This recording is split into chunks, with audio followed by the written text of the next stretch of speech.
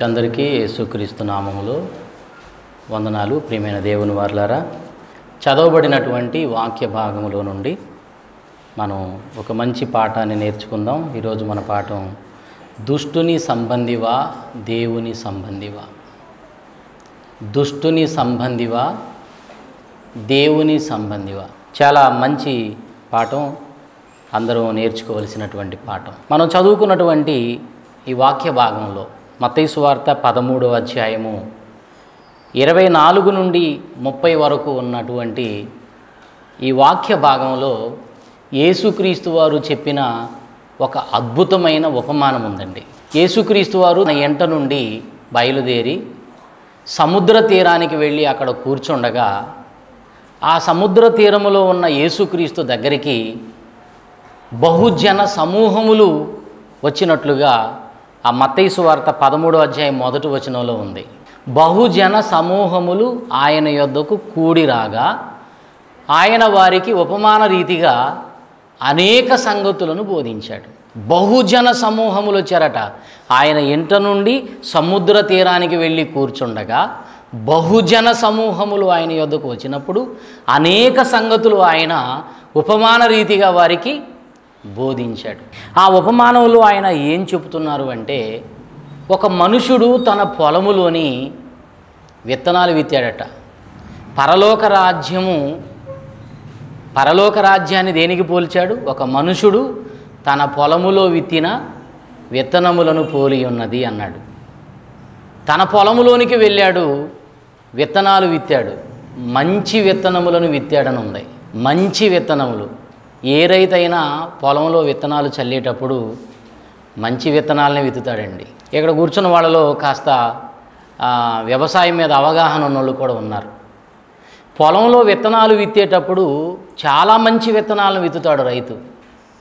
ఇంట్లో ధాన్యం ఉన్నా ఏమండి? మార్కెట్లో నాణ్యమైన విత్తనాలు దొరుకుతున్నాయని తెలిసినప్పుడు మార్కెట్కి వెళ్ళి మార్కెట్ యార్డ్లలో ఈ ధాన్యం అమ్మే చోటుకు వెళ్ళి మంచి విత్తనాలను కొనుక్కొచ్చి తన పొలంలో వేసుకుంటాడు ఏ రైతైనా. ఇక్కడ ఉన్నటువంటి ఉపమానములో ఉన్న ఈ ఈ యొక్క పొల యజమాని కూడా మంచి విత్తనాలను విత్తాడట. వచ్చి నిద్రపోతుండగా అందరూ నిద్రపోతున్న సమయంలో శత్రువు వచ్చి ఆ మంచి విత్తనాలు విత్తిన చోట గురుగులను విత్తిపోయాడటండి. గురుగులు విత్తి వెళ్ళిపోయాడు. కొంతకాలం అర్థం కాలేదు. ఆ విత్తనాలు చక్కగా మొలకెత్తి చెట్లుగా ఎదిగాయి. ఎంతవరకు అంటే అవి గింజ పట్టేంత వరకు ఎదిగాయి.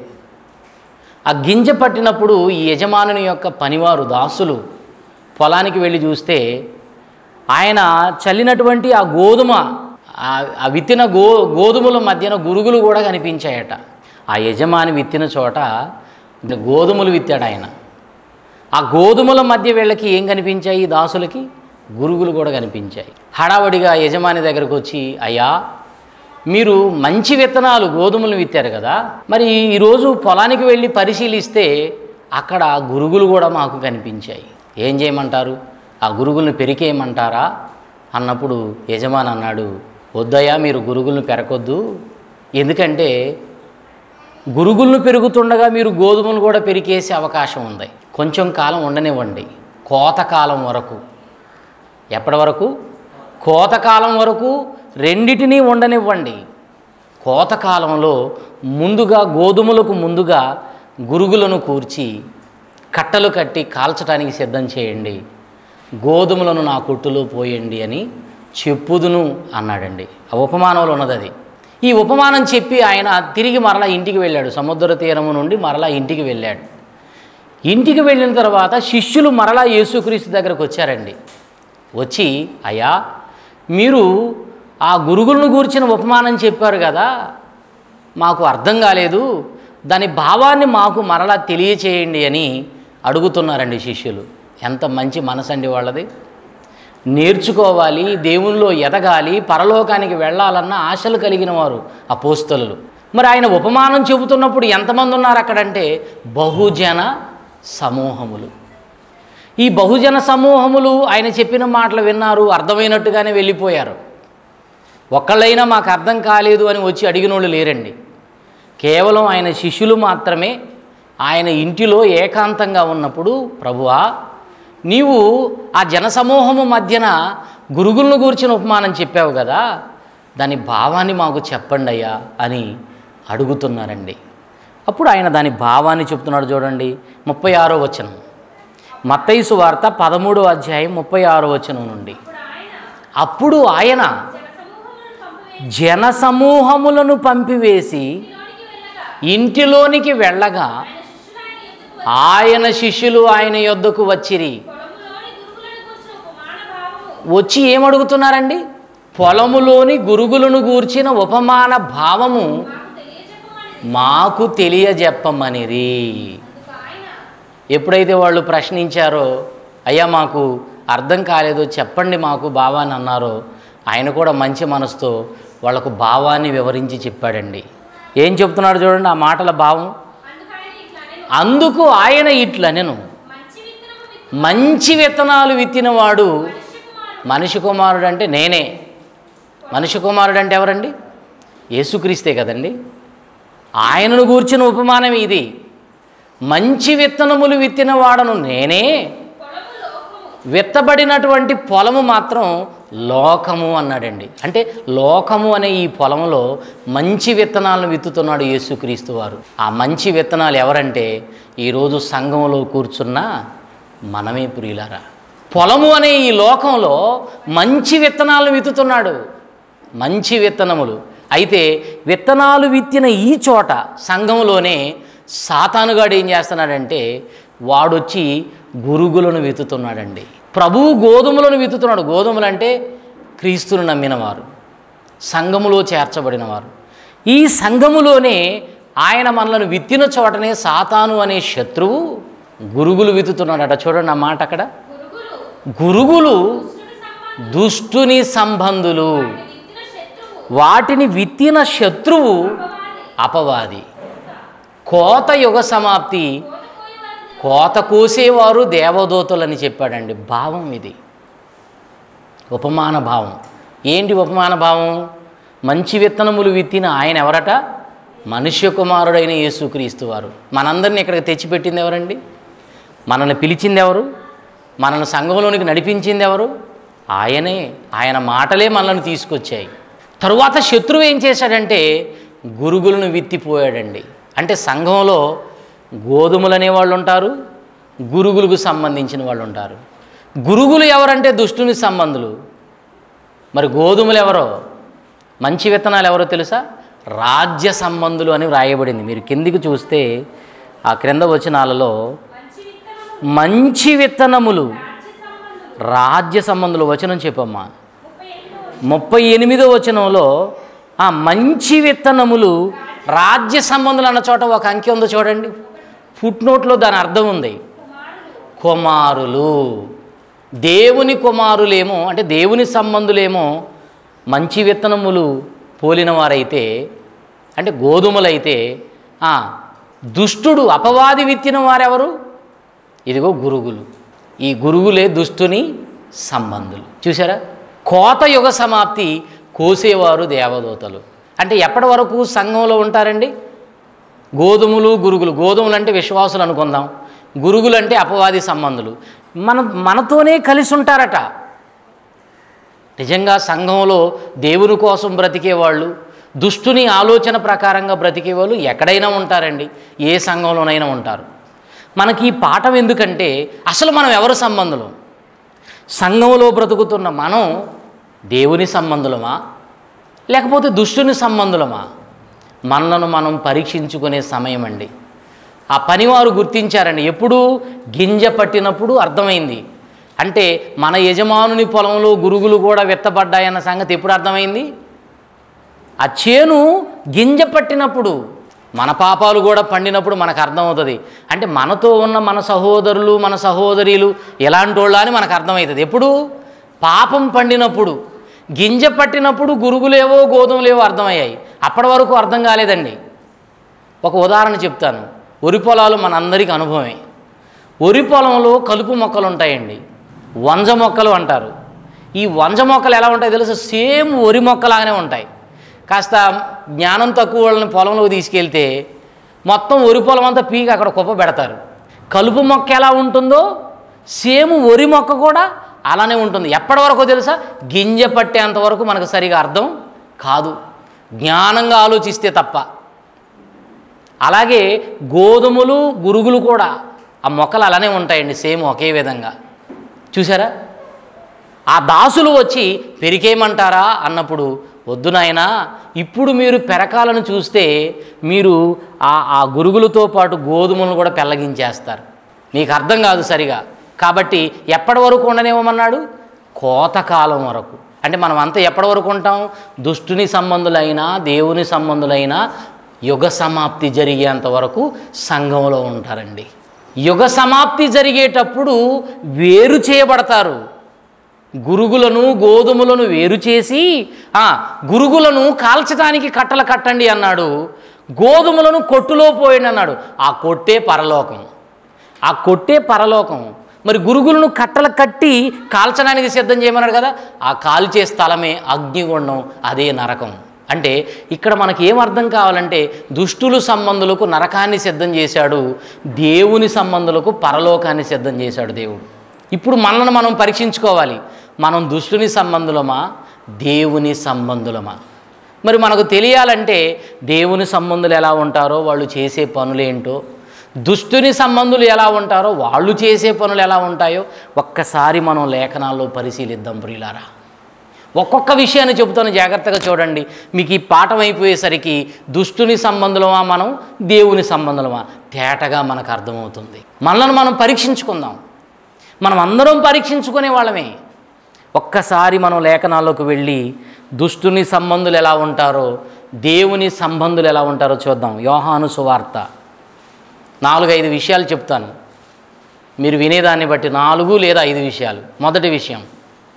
ఏమంటే యోహాను సువార్త ఎనిమిదో అధ్యాయము నలభై ఏడో వచనం చూద్దాం ప్రియులారా. ఇక్కడ చూడండి దేవుని సంబంధి అయిన వాడు దేవుని మాటలు వినును. మీరు దేవుని సంబంధులు కారు గనకనే మీరు వినరని చెప్పాను. చూసారండి ప్రభు ఎంత మంచి మాట చెప్పారో? దేవుని సంబంధులు ఎలా ఉంటారు అంటే దేవుని మాటలు శ్రద్ధగా వింటారు అది. దేవుని సంబంధి అయిన వాడు దేవుని మాట వింటాడు. మీరు దేవుని సంబంధులు కారు గనకనే మీరు వినరని చెప్పాను. యూదుల మధ్య యేసుక్రీస్తు వారు చెప్పిన మాట అండి ఇది. యూదులు యేసుక్రీస్తుతో పదే పదే ఏం చెప్పారో తెలుసా? మేము అబ్రహాము సంతానం వాళ్ళని కదిలిస్తే చాలండి. వాళ్ళని ఎవరు కదిలించినా వాళ్ళు చెప్పే మాట ఏంటంటే మేము అబ్రహాము గారి సంతానం మేము దేవుని సంతానం మేము దేవుని సంబంధులము మా తండ్రి దేవుడు అని చెప్పుకుంటూ ఉంటారు యూదులు. అలాంటి వాళ్ళతో ప్రభు అంటున్నాడు మీరు దేవుని సంబంధులు కాదు. దేవుని సంబంధులైతే నా మాట వింటారు మీరు. దేవుని సంబంధి అయిన వాడు దేవుని మాట వింటాడు. మీరు దేవుని సంబంధులు కాదు మీరు వినట్లేదు కదా. మీరు నా మాటలు వినట్లేదు కదా నేను చెప్పేది? కనుక మీరు దేవుని సంబంధులు కాదు. మరి ఎవరి సంబంధులు అని చెప్పాడో తెలుసా? అక్కడే ఎనిమిదో అధ్యాయము నలభై నాలుగో వచనంలో మీరు మీ తండ్రి యగు అపవాది సంబంధులు. సరిపోయింది. అంటే ప్రభువు ముందు నిలబడిన ఆ యూదులు ఎవరి సంబంధులు చెప్పండి? అపవాది సంబంధులుగా ఉన్నారు. ఏమండి ఆ జన సమూహంలో ఆయన మాటలు వినేవాళ్ళంటూ ఉన్నారా అంటే ఉన్నారు కొంతమంది. ఎవరంటే శిష్యులు లాంటి వాళ్ళు అపోస్తులు ఉన్నారు చూసారా? వాళ్ళండి చక్కగా వింటారు. అర్థం కాకపోతే అడుగుతారు. ఎవరి సంబంధులు చెప్పండి మీరు ఇప్పుడు? అలాంటి వాళ్ళే దేవుని సంబంధులు. వీళ్ళు వినటం లేదు గనక వీరు అపవాది సంబంధులు అని చెప్తున్నాడు. మీరు మీ తండ్రి యగు అపవాది సంబంధులు. అందుకే మీరు దేవుని మాటలు వినడం లేదు. ఇక్కడికి వచ్చిన తర్వాత మనం కూడా దేవుని మాటల మీద మనసు పెట్టి వినట్లేదనుకోండి. వినట్లేదు అనుకోండి ఇక్కడికి వచ్చాం కష్టపడి వచ్చాం. ఇక్కడికి వచ్చిన మనము దేవుని వాక్యాన్ని శ్రద్ధగా వినకపోతే మరి మనమెవరం? చెప్పండి. దుష్టుని సంబంధం అవుతాం అప్పుడు. దేవుని మాటలు శ్రద్ధగా ఎవరైతే వింటారో వాళ్ళు దేవుని సంబంధులండి. దేవుని మాటలు వినకుండా ఈ మాటలు పెడచెవిన పెట్టి ఎక్కడ కూర్చొని ఎక్కడో ఆలోచిస్తుంటాం కదండి మనం? చాలామంది దేవుని సన్నిధికి వచ్చి ఏం ఆలోచిస్తారు? ఇంటి దగ్గర పరిస్థితులు ఎలా ఉన్నాయో? అసలు వచ్చేటప్పుడు తాళం పెట్టానా? పెద్దగా గుర్తులేదు. తలుపు దగ్గరకు మాత్రమే వేసి వచ్చానా తలుపుకు తాళం పెట్టానా? ఏమో గలిబిలి. మా ఆయన ఇంటికి వచ్చాడో లేదో తిన్నాడో లేదో తినింట్లో తిన్నగా ఉన్నాడో లేకపోతే కింద బజార్లో ఎక్కడో తిరుగుతున్నాడు. ఎక్కడ కూర్చొని ఆలోచిస్తుంటారండి? ఇంకా కొంతమంది నిద్రపోతుంటారండి. నిద్రపోతూ గురక పెట్టేవాళ్ళు కూడా లేకపోలేదండి సభల్లో. వీళ్ళంతా ఎవరి సంబంధులు తెలుసా? అపవాది సంబంధులు. ఇక్కడ కూర్చుంటారు వాక్యం చెబుతుంటే ఆ, ఈ సెల్ ఫోన్ ఒకటి ఉంది ఉంది కదండి? ఇందులో యూట్యూబు వాట్సాపు ఇవన్నీ కూడా కెలుగుతుంటారు కొంతమంది. ఇవన్నీ మంచి పనులు కాదండి. వాక్యం చెప్పేటప్పుడు మనం శ్రద్ధగా వింటున్నామంటే మనం ఎవరి సంబంధులు? దేవుని సంబంధం మనం వినటానికి మనకు సరైన మనసు లేదంటే వినలేకపోతున్నాము అంటే వినడానికే ఇబ్బంది పడుతున్నాము అంటే మనము ఖచ్చితంగా దుష్టుని సంబంధులమే. ఇప్పుడు మిమ్మల్ని మీరు పరీక్షించుకునే సమయం. మనం వింటున్నామా? లేకపోతే ఆసక్తి లేకుండా ఉంటున్నామా? వింటే దేవుని సంబంధులు వినని ఎడల దుష్టుని సంబంధులు. మరొక విషయాన్ని చెప్తాను. రెండవది యోహాను మొదటి పత్రిక. అందరూ చూడండి. యోహాను మొదటి పత్రిక మూడవ అధ్యాయము పన్నెండవ వచనం. సంఘానికి యోహాను గారు చెప్తున్నారు సంఘమా దేవుని పిల్లలారా మనము కయ్యూను వంటి వారమై ఉండరాదు. వాడు దుష్టుని సంబంధి అయి ఎంత మంచి మాట చెప్పాడండి. మన పాఠం ఏంటి? దుష్టుని సంబంధివా దేవుని సంబంధివా? ఇక్కడ అంటున్నాడు యోహాను గారు సహోదరులారా మనము కయ్యూను వంటి వారమై మనము అంటే తనను కూడా కలుపుకున్నాడు. ఏమండి వాక్యం చెప్పేటప్పుడు మిమ్మల్ని గురించే చెబుతున్నాం అనుకోకండి. మాకేమి మినహాయింపు లేదు. మనమందరం పరీక్షించుకోవలసిన వాళ్ళమే. మనం అందరం పరీక్షించుకోవాలి. ఇక్కడ దేవుని సేవకుడని ఇక్కడ విశ్వాసులని ఏమీ తారతమ్యం ఏమీ లేదు అందరం పరీక్షించుకోవాలి. అందుకే అంటున్నాడు యోహాను గారు మనము కయ్యూను వంటి వారమై ఉండరాదు. వాడు ఎవరి సంబంధి? వాడు దుష్టుని సంబంధి అయి తన సహోదరుని చంపెను. వాడు అతనిని ఎందుకు చంపెను? తన క్రియలు చెడ్డవియు తన సహోదరుని క్రియలు నీతి గలవియునై వండిన గనుకనే కదా అన్నాడండి ఎంత మంచి మాట చెప్పాడండి. మనము కయ్యూను వంటి వారమై ఉండరాదు. కయ్యూను ఎవరండి? మన ఆది తల్లిదండ్రులైన ఆదాము హవ్వలకు పుట్టిన తొలి సంతానమే కయ్యూను. ఆ తర్వాత రెండవ సంతానంగా దేవుడు ఆదాము హవ్వలకు హేబేలునిచ్చాడు. ఈ కయ్యను ఎలాంటి వాడంటే వీడు దుష్టుని సంబంధిగా మారాడు. అమ్మ ఎవరు సంబంధి? ఏమన్నా పుట్టుకతోనే ఎవరు దుష్టుని సంబంధులుగా ఉండరండి. బైబిల్లో ఒక మాట ఉంది నరులు యథార్థవంతులుగానే పుట్టుచున్నారు కానీ వారు మధ్యలో వివిధమైన తంత్రములను కల్పించుకొని ఉన్నారు. ఆ తంత్రములు ఎవరివి అంటే అవి అపవాది తంత్రములు. అందుకే పౌలు గారు అంటాడు అపవాది తంత్రములను మనము ఎరుగని వారము కాము. వాడి తంత్రములతో వాడి మోసపూరితమైన విధానంతో చాలామందిని వాడి వశం చేసుకుంటున్నాడండి. అందులో భాగమే కయ్యూను సాతాను వశమైపోయాడు. దుష్టుని సంబంధిగా మారాడు. వాడికి అవకాశం ఇచ్చాడు దుష్టునికి. వాడు దుష్టుని సంబంధి అయి తన సహోదరుని చంపెను అని చూస్తున్నాం. అంటే మనుషుల్ని హతమార్చే వాళ్ళంత దేవుని సంబంధులండి? కాదండి. వాళ్ళు దుష్టుని సంబంధులు. యేసుక్రీస్తు వారు యోహాను ఎనిమిది నలభై నాలుగులో ఇంకొక మాట కూడా చెప్పారండి. మీరు మీ తండ్రి యగు అపవాది సంబంధులు ఆ వాని దురాశలను మీరు నెరవేర్చగోరుచున్నారు. వాడు ఆది నుండి నరహంతకుడు. సాతాను ఎవరటండి? ఆది నుండి నరహంతకుడు. అంటే కయ్యూను మరణం వెనక ఉన్నదెవరు? దుష్టుడండి అపవాది. ఒక మనిషి మరొక మనిషిని చంపటానికి ప్రయత్నం చేస్తున్నాడంటే అతను ఎవరి సంబంధి? దుష్టుని సంబంధి. మనము కయ్యూను వంటి వారమై ఉండరాదు. సొంత తమ్ముని చంపేశాడండి. ఈ మధ్యకాలంలో రక్త సంబంధులే ఏమండి వాళ్ళ సంబంధులను హతమారుస్తుంటే అయ్యో ఎంత ఘోరం ఎంత నేరం అని అంటున్నాం మనం. ఈ ఘోరాలు నేరాలు ఇప్పుడు జరిగేవే కాదండి. ఎప్పటి నుండో ప్రారంభం నుండి భూమి మీద మొట్టమొదట మరణించిన వ్యక్తి ఎవరండి? హేబేలు శరీర సంబంధమైన మరణం పొందినవాడు. ఆత్మీయంగా ఆదాము హవలు చనిపోయారు. కానీ శారీరకంగా మరణించిన వాడు మొట్టమొదట హేబేలండి. హేబేలు ఎలా చనిపోయాడు? వయసు అయిపోయి ఆయుష్ తీరిపోయి చనిపోలేదు. తన అన్న చంపితే చనిపోయాడు. ఎంత దారుణం! అంటే అన్నలు కూడా చంపుతారా? అన్నలు చంపుతారు తమ్ముళ్ళైనా చంపుతారు అక్కలైనా చంపుతారు చెల్లెళ్ళైనా చంపుతారు. అందుకే దేవుడు అన్నాడు మనుషులను నమ్ముకున్నట కంటే యహోవాను ఆశ్రయించటం మేలు. మనం అనుకుంటాం మా రక్త సంబంధులని. ఎవరండి రక్త సంబంధులు? ఇక్కడ మీకు ఈ విషయం అర్థమైతే నిజంగా రక్త సంబంధులు ఎంత ఘోరంగా ఉంటారో మీకు అర్థమవుతుంది ప్రియులారా.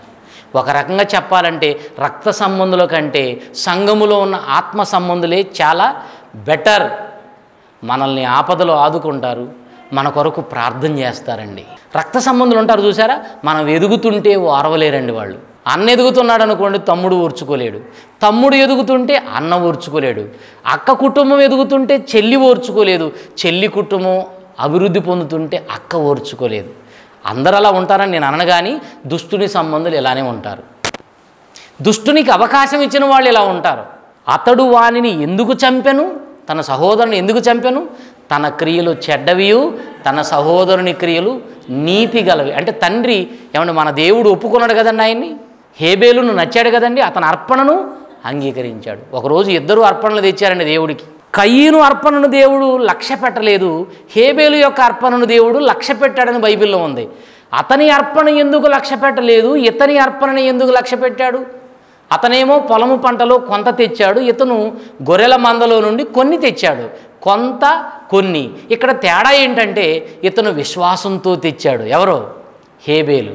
విశ్వాసమును బట్టి హేబేలు కయ్యును కంటే శ్రేష్టమైన బలిని దేవునికి అర్పించను. అందుకే అతని అర్పణను దేవుడు అంగీకరించాడు.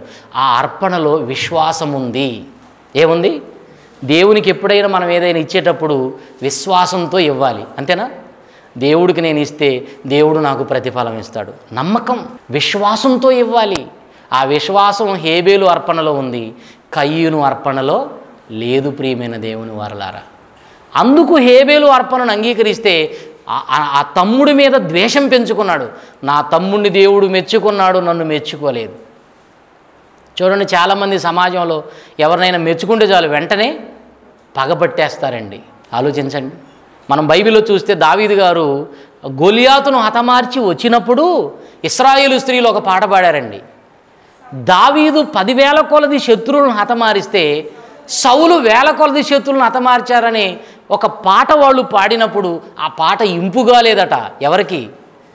సౌలుకు. ఆ రోజు నుండి దావీదుపై విషపు చూపు నిలిపాను. ఎందుకంటే అతన్ని పొగిడారు గనక. అంటే నచ్చదా? ఎవరైనా గొప్ప స్థానానికి వెళుతున్నారంటే నచ్చదా? నచ్చదండి. తన సొంత అన్నే తమ్ముని చంపాడు. వాడు ఎలాంటి మార్గంలో నడిచాడో చూడండి. ఒకసారి యోధా పత్రికలో యోధా పత్రిక యోధా పత్రిక పదకొండు వచనం చూడండి. పదకొండు వచనం. అయ్యో అంటున్నాడండి. అయ్యో వారికి శ్రమ. వారు అంటే కొంతమంది దేవుని పిల్లలని చెప్పబడిన వారు కయ్యూను నడిచిన మార్గములో నడిచిరి అన్నాడండి. అయ్యో వారికి అంటే కయ్యూను మార్గంలో నడిచిన వారికి ఏమి రాబోతుంది? కయ్యూనుకు శ్రమే కయ్యూను మార్గములో నడిచిన వారికి శ్రమే. వాడు దుష్టుని సంబంధి. నేను ఎందుకు ఈ మాటలు చెబుతున్నానంటే దేవుడు చెప్పాడు వాడు దుష్టుని సంబంధి. వాడు నరహత్య చేసిన వాడు. వాడు నరహంతకుడు. వాడు తన సహోదరుని చంపినవాడు. వాడు నడిచిన మార్గములోని అనేకులు నడిచారని చెప్తున్నారండి అయ్యో వారికి శ్రమ. వారు కయ్యూను నడిచిన మార్గములో నడిచిరి. అంటే కయ్యూను మార్గంలో ఏముందో చెప్పండి? కయ్యూను నడిచిన మార్గంలో ఏముంది? కయ్యూను నడిచిన మార్గంలో కోపం ఉంది. కయ్యూనికి ఎంత కోపమో తెలుసా? దేవుడే అన్నాడు కదండి నీకు కోపమేలా అన్నాడు. ఎందుకయ్యా కోపపడుతున్నావు? అన్నాడండి. ఒక ప్రశ్న అడిగాడు దేవుడు నీ తమ్ముడు ఎక్కడ ఉన్నాడు కయ్యను అంటే నా తమ్మునికి నేనేమైనా కావలివాడనా? తలబిరుసు సమాధానం. అంటే కయ్యూను మార్గంలో ఏముందంటే కోపం. అంటే కోపం బాగా ఎక్కువ ఉండి అందులోనే కొనసాగే వాళ్ళంతా ఎవరి సంబంధులు? దుష్టుని సంబంధులే కయ్యూను వంటి వారు. తర్వాత అసూయ ద్వేషం తన తమ్ముడు మీద. ఇలా అసూయ ద్వేషం కలిగిన వాళ్ళంతా ఎవరి సంబంధులు? వాళ్ళు దుష్టుని సంబంధులే. కయ్యూను మార్గంలో నడిచేవారే వాళ్ళు. నరహంతకులంతా వాడి మార్గంలో నడిచేవాళ్ళే. అందుకే యోహాన్ గారు అన్నాడు ఎంత మంచి మాట అండి మనము కయ్యూను వంటి వారమై ఉండరాదు. వాడు దుష్టుని సంబంధి. వాడు తన సహోదరుణ్ణి చంపాడు. ఏమండి మనం ఎలా ఉండాలో తెలుసా? మనం నిజంగా దేవుని సంబంధం అయితే మనుషుల్ని హతమార్చడం కాదండి మన పని. మనుషుల్ని రక్షించాలి. అందుకే యోధా పత్రిక ఇరవై మూడు వచనంలో ఏం చెప్పాడో చూడండి. ఇరవై మూడు వచనం చూడండి యోధా పత్రిక అగ్నిలో నుండి లాగినట్టు కొందరినైనా మీరు రక్షించమని చెబుతున్నాడు. అమ్మా మనం శిక్షించి ప్రాణం తీసే వాళ్ళంగా ఉండకూడదు. మనము రక్షించే వాళ్ళంగా ఉండాలి. దేవుని సంబంధులు ఎలా ఉంటారంటే రక్షించే వాళ్ళుగా ఉంటారు. ఈ వాక్యం మీకు ఎందుకు చెప్పాలండి? ఇంత మంచి మాటలు చెప్పడానికి మేమెందుకు కష్టపడాలంటే కొందరినైనా రక్షించాలి. కొందరినైనా రక్షించాలి. రక్షించేవాళ్ళు దేవుని సంబంధులు. మనుషులను శిక్షించి హతమార్చేవాళ్ళు. హతమార్చే విధంగా శిక్షించేవాళ్ళు. వాళ్ళెవరో తెలుసా? వాళ్ళు దుష్టుని సంబంధులండి. కనుక దేవుని సంబంధులు ఎలా ఉంటారో దుష్టుని సంబంధులు ఎలా ఉంటారో మనకు తెలియాలి ప్రియులారా. మొదటి మాటలో చూసాము దుష్టుని సంబంధులు దేవుని మాటలు వినరు. దేవుని సంబంధులు దేవుని మాటలు వింటారు. రెండో విషయంలో చూసాం దుష్టుని సంబంధి ఎలా ఉంటాడంటే సేమ్ కయ్యూను లాగానే ఉంటారు. కయ్యూను నడిచిన మార్గంలో నడిచే ప్రతి ఒక్కళ్ళు దుష్టుని సంబంధులే. మరి సమాజాన్ని వాక్యం చెప్పి రక్షించే వాళ్ళు ఎవరో తెలుసా? వాళ్ళు దేవుని సంబంధులు. అగ్నిలో నుండి లాగినట్టు కొందరినైనా లాగి రక్షిస్తున్నారే. వాళ్ళు దేవుని సంబంధులైతే మనుషులను హతమార్చే వాళ్ళు దుష్టుని సంబంధులు. మరొక విషయాన్ని చూద్దాం బైబిల్లో. మరొక విషయాన్ని చూద్దాం. యోహాను వ్రాసిన మొదటి పత్రిక మూడవ అధ్యాయము పదో వచనాన్ని చూద్దాం ప్రియులారా. ఇప్పుడు చెప్పేదానిని బట్టి దేవుని పిల్లలెవరో అపవాది పిల్లలెవరో తేటపడును అన్నాడండి. బాగా వినాలి మీరు ఈ మాటలు. ఇప్పుడు చెప్పే ఈ విషయం చెప్పబోతున్న ఈ విషయాన్ని బట్టి దీనిని బట్టి దేవుని పిల్లలు అంటే దేవుని సంబంధులు ఎవరో అపవాది పిల్లలు అంటే అపవాది సంబంధులు ఎవరో తేటపడును. దేనిని బట్టి తేటపడుతుందో చూడండి. నీతిని జరిగించని ప్రతివాడును. తన సహోదరుణ్ణి ప్రేమించని ప్రతివాడును వాళ్ళు దేవుని సంబంధులు కారు. ఎంత మంచి మాట అండి ఇక్కడ రెండు మాటలు చెప్పాడండి ఈ వాక్యంలో. నీతిని జరిగించని వాడు ఆ తర్వాత తన సహోదరుణ్ణి ప్రేమించని వాడు వాడు దేవుని సంబంధి కాదు. దేవుని సంబంధి కాదంటే ఎవరి సంబంధి? చెప్పాలి. ఎవరి సంబంధమ్మా? అపవాది సంబంధులు. నీతిని జరిగించక సహోదరుని ప్రేమించకుండా ఉంటున్నారే? సహోదరుల పట్ల ప్రేమ లేకుండా ఉంటున్నారే? వాళ్ళు ఎవరి సంబంధులో తెలుసా? వాళ్ళు అపవాది సంబంధులండి. నీతిని జరిగించని అన్నాడు. నీతి అంటే ఏంటి చెప్పండి? నీతి అనగానేమి? నీతి అనగా దేవుని మాట. ఏమంటే దేవుని మాట వినడమే కాదు మనం. మనం విని దేవుని సంబంధం అనిపించుకోవాలి. విని ఆ మాటల ప్రకారంగా జరిగించాలి. ఆ మాటల ప్రకారంగా చేయాలి ఏమంటే దేవుని మాటలు వినగానే మనం గొప్పవాళ్ళం అయిపోము. మనల్ని గొప్పవాళ్ళుగా దేవుడు ఎప్పుడు చూస్తాడంటే ఈ మాటలు విని వాటి ప్రకారంగా చేసినప్పుడు నీతిని విని నీతిని అనుసరించినప్పుడు. నీతి అనగా దేవుని మాట. దేవుని మాటలు వింటున్న మనం దాని ప్రకారంగా మనం నడుచుకుంటున్నామా లేదని మనల్ని మనం పరీక్షించుకోవాలి. అసలు దేవుని మాట వినటం అంటేనే దాని అర్థం ఏంటో తెలుసా? చేయటం. వినడం అంటేనే నడుచుకోవటం. ఇప్పుడు దేవుడు చెప్పాడండి ఇలా ఉండాలని. దాని ప్రకారంగా నడుచుకుంటే కదా విన్నట్టు. ఒక ఇంటికి వెళితే కొడుకు పని చెబుతున్నాడండి తండ్రి. అరే కాలు వస్తుందట ఈరోజే వస్తుందట. ఎందుకంటే పంట పొలాలకి నీళ్ళు ఎప్పుడు పడితే అప్పుడు వదలరండి. కాల వదిలారు నీళ్ళు పెట్టడానికి వెళ్ళరా పొలానికంటే. వాడు అలానే కూర్చుంటున్నాడండి. తండ్రి చెబుతా ఉన్నాడు. దాదాపు ఒక పదిసార్లు చెప్పాడండి. వెళ్ళరా వెళ్ళరా వెళ్ళరా అని. వాడు అక్కడి నుంచి కదలట్లేదండి. వాళ్ళ నాన్నకు విసుకొచ్చి ఏంట్రా నా మాట వినవు? అంటున్నాడు. అప్పుడు నన్ను పిలిచి అంటున్నాడు వాడు విజయరావు గారు మా నాన్న మాట నేను వింటనానా లేదా? అంటున్నాడండి. విజయరావు గారు మా నాన్న మాట నేను వింటనానా లేదా? మా నాన్న ఏంటి? నా మాట వినవేంట్రా? అంటున్నాడు. నేను వెంటనే ఉన్నాను కదా పదిసార్లు చెప్పాడు ఇప్పుడు. ఇప్పుడు చెప్పండి వినడం అంటే ఏంటో? నాన్న చెప్పగానే లేచి పొలానికి వెళ్ళి పని చేయటం నాన్న మాట వినటం. వాడెంత కేటుగాడో చూడండి. కూర్చొని చెవులతో వింటున్నాడు కానీ పని మాత్రం చేయట్లేదు. ఈరోజు సంఘాల్లో కూడా అలానే ఉన్నారండి. చెవులతో వినడం వెళ్ళిపోవడమే తప్ప దేవుని పనులు చేసేవాళ్ళు ఎక్కువ మంది కనిపించరు సంఘాల్లో. కొంతమంది ఉంటారు దేవుని మనసెరిగిన పిల్లలు. వాళ్ళు దేవుని సంబంధులు. దేవుని సంబంధం అయితే వింటాము చేస్తాము. అపవాది సంబంధం అయితే విని దానిని నెరవేర్చం. రెండవ మాట ఏం చెప్పాడు అక్కడ? తన సహోదరుని ప్రేమించని వాడు కూడా. సహోదరుని ఏం చేయాలండి? ప్రేమించాలి. ప్రేమిస్తే ఏం చేస్తాం మనం? సహోదరుని ప్రేమించి ప్రేమిస్తే ఏం చేస్తామో అక్కడే పదహారు వచనం చూడండి. మొదటి యోహాను పత్రిక మూడు పదహారు. సహోదరుని ప్రేమించడం అంటే ఇక్కడే మనకు అర్థమవుతుంది. ఆయన మన నిమిత్తము తన ప్రాణమును పెట్టెను గనుక దీని వలన అంటే దేని వలన? ప్రాణం పెట్టిన దాని వలన ప్రేమ ఎట్టిదని మనము తెలుసుకొనుచున్నాము. మనము కూడా మన సహోదరుల నిమిత్తము ప్రాణము పెట్టబద్దులమై ఉన్నాము. చూసారండి సహోదరుల కోసం మనం కూడా ఏం చేయాలి? ప్రాణం పెట్టాలి. క్రీస్తు మనలను ప్రేమించి ఏం చేశాడు? తన ప్రాణాన్ని అర్పించాడు. ప్రాణాన్ని అర్పించాడు. ప్రేమించడం అంటే ఎలాగో చెప్తున్నాడండి. ప్రియమైన దేవుని వారలారా మనం ప్రేమిస్తే సహోదరులను వాళ్ళ కోసం మనం ఏం చేస్తామో తెలుసా? ప్రాణం పెడతాం. ఏం చేస్తాము? ప్రాణం పెడతాం. రెండు విషయాలు చెప్పాడు ఇక్కడ. నీతిని జరిగించని వాడు తన సహోదరుణ్ణి ప్రేమించని వాడు వాడు దుష్టుని సంబంధి వాడు దేవుని సంబంధి కాదు. దేవుని సంబంధి కాదు ప్రియులారా. మనం దేవుని సంబంధులుగా ఉండాలి అంటే సహోదరులను ప్రేమించాలి. ద్వేషించకూడదు. చాలామంది చూడండి సహోదరులను ద్వేషిస్తుంటారు. ఆయన అలాగండి ఈయన ఇలాగండి ఆయన అట్లండి ఈయన ఇట్లండి అని సహోదరులను ద్వేషిస్తుంటారు. అది మంచి పని కాదు. ఆ ద్వేషించే విధానం అది కయ్యూలు నడిచిన మార్గంలో ఉంది. మంచి పని కాదు. సహోదరులను మనం ప్రేమించాలి. అవసరమైతే వారి కొరకు మనం ప్రాణాన్ని పెట్టగలిగే స్థితికి వెళ్ళాలి. అప్పుడు మనం దేవుని సంబంధులం. మరొక మాట చూద్దాం.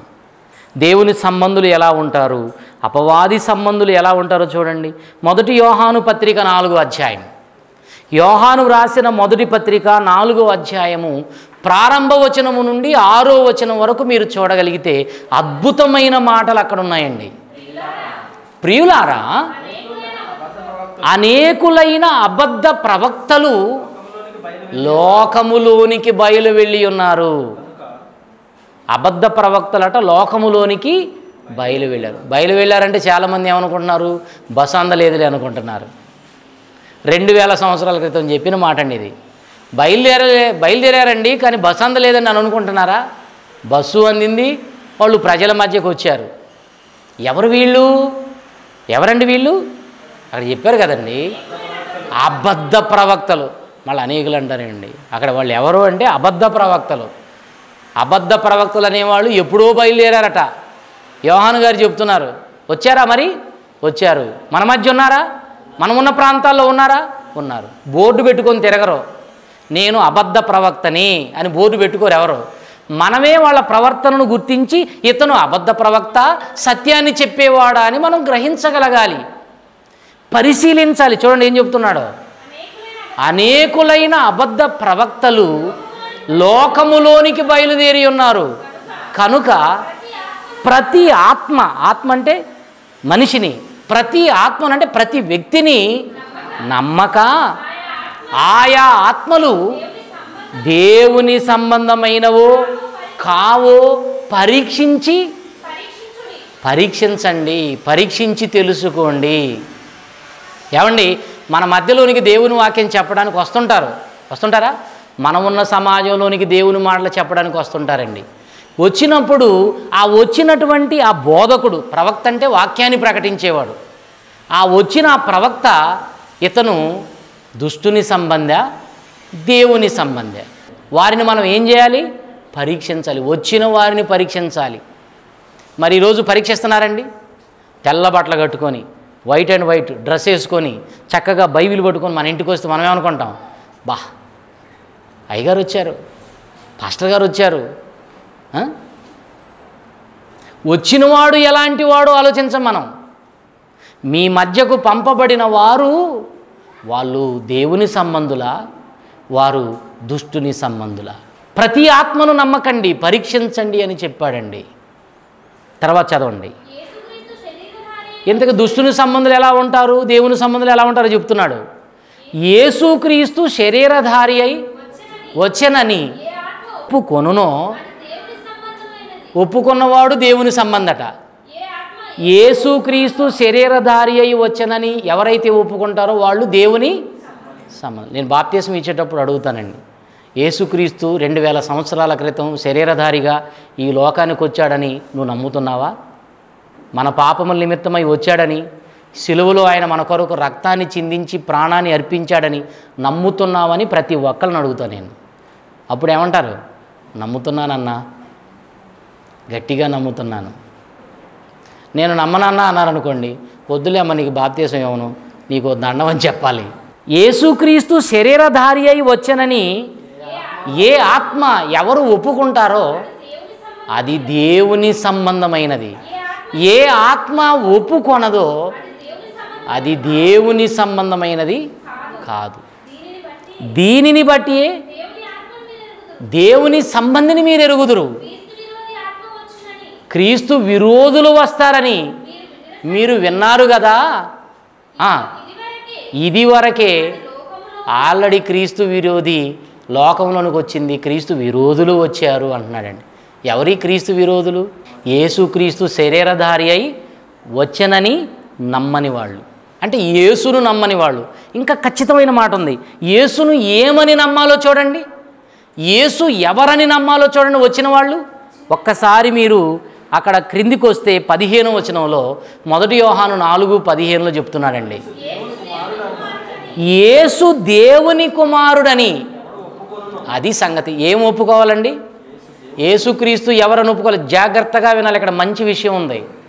ఈ వచ్చినటువంటి ప్రవక్త వచ్చినటువంటి బోధకుడు వాక్యం చెప్పే ఈ సేవకుడు యేసుక్రీస్తును ఏమని ఒప్పుకోవాలట?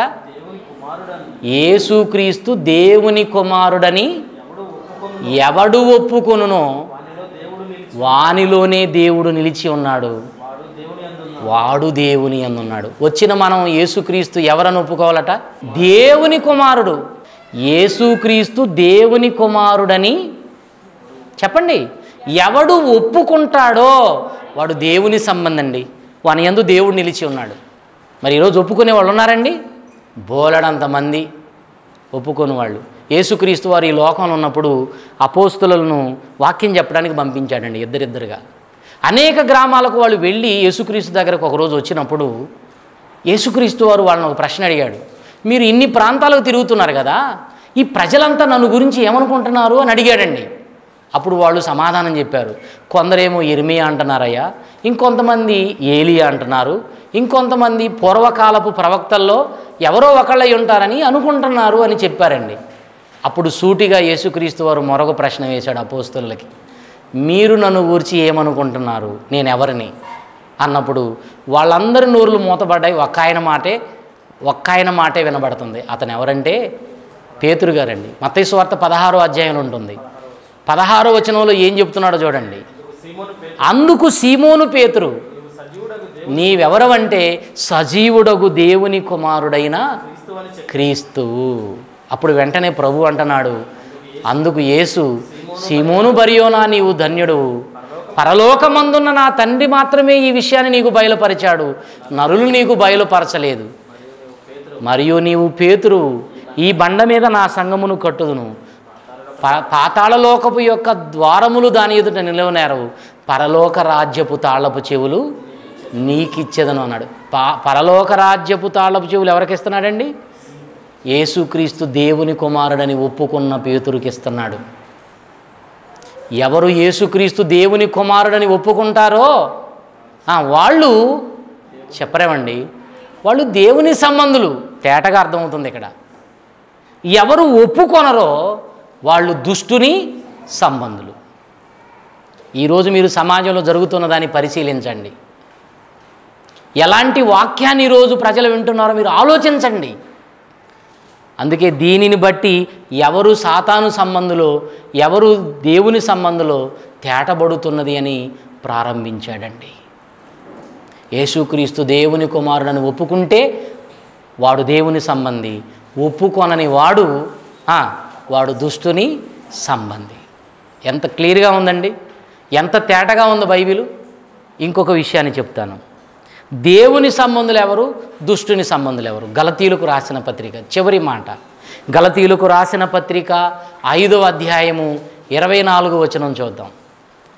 క్రీస్తు యేసు సంబంధులు శరీరమును దాని ఇచ్చలతోనూ దురాశలతోనూ సిలువ వేసి ఉన్నారు. ఎంత మంచి మాట అండి యేసుక్రీస్తు సంబంధులు అంటే దేవుని సంబంధులు.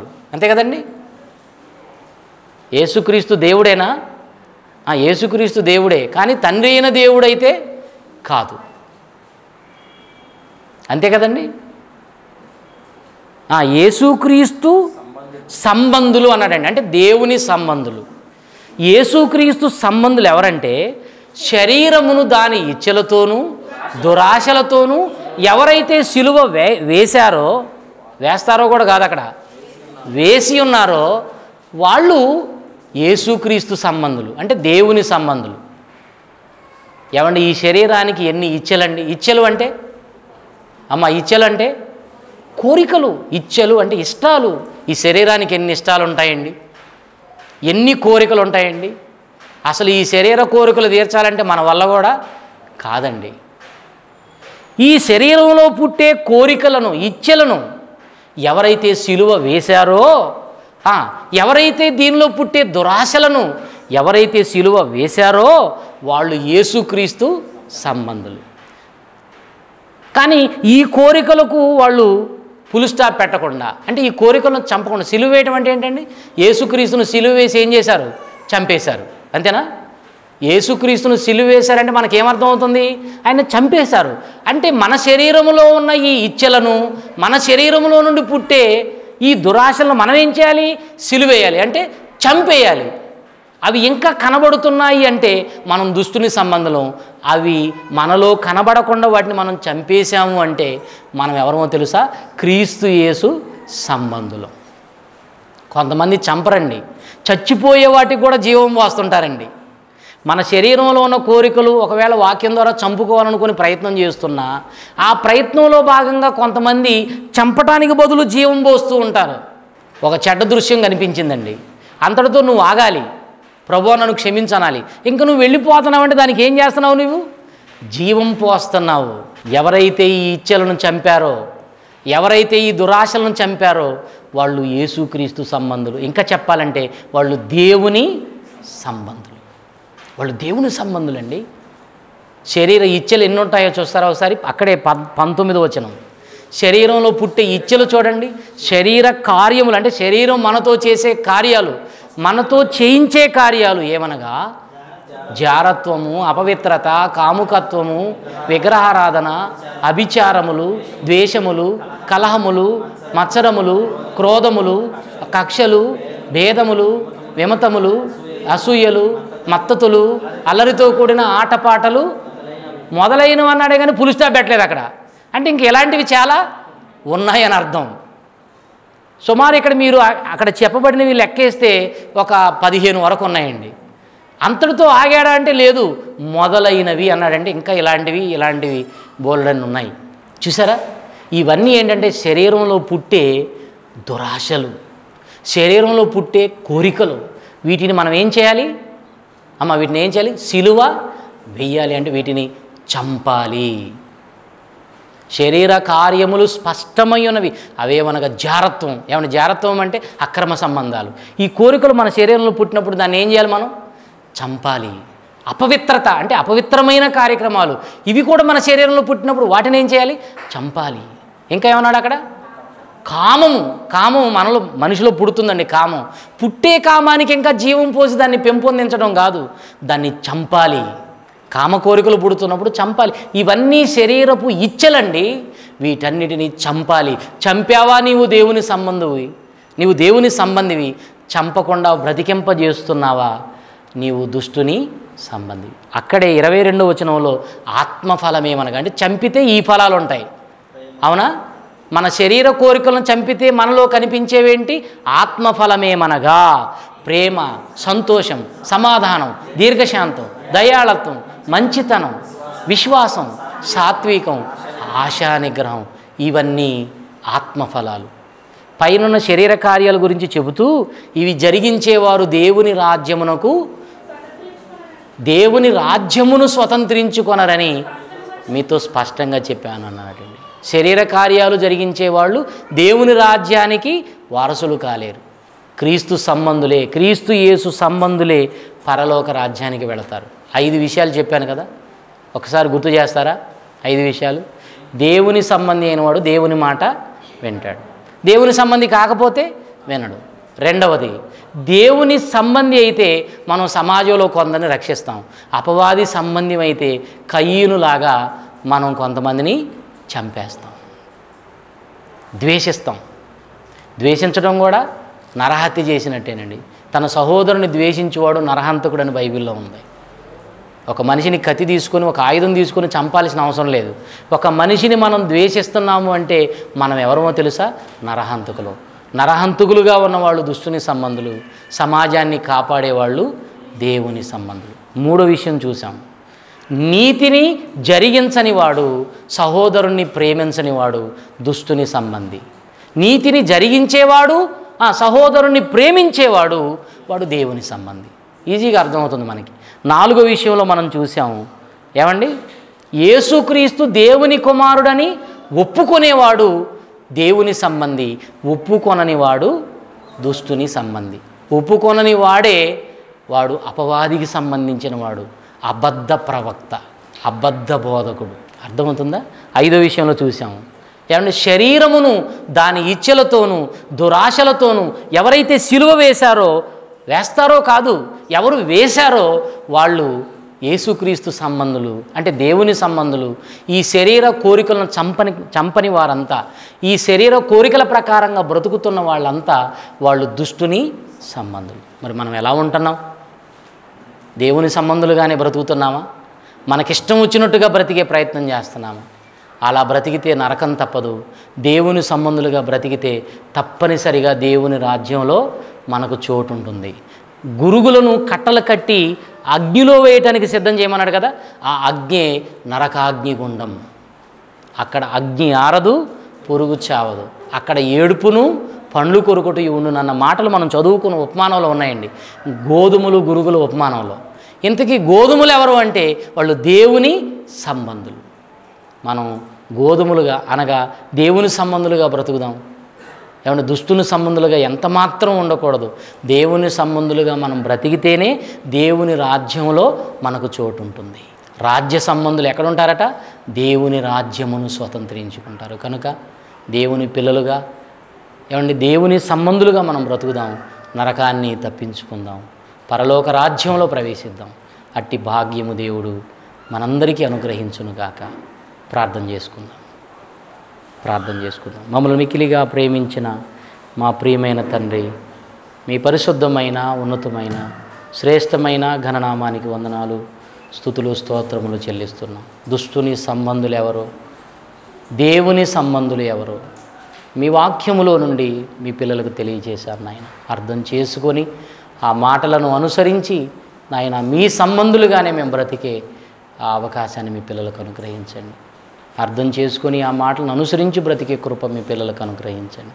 రాబోయే రోజుల్లో ఇలాంటి సందేశాలు ఇంకా మరెన్నో మేము నేర్చుకొని నీ కొరకు గొప్పగా బ్రతికి నీ చెంతకు చేరులాగున సహాయం చేయమని కోరుకుంటూ మమ్మల్ని అందరినీ మీ చేతులకు అప్పగిస్తూ క్రీస్తు యేసు ఉన్నతమైన నామమున ఈ ప్రార్థన మీకు సమర్పిస్తున్నాం తండ్రి.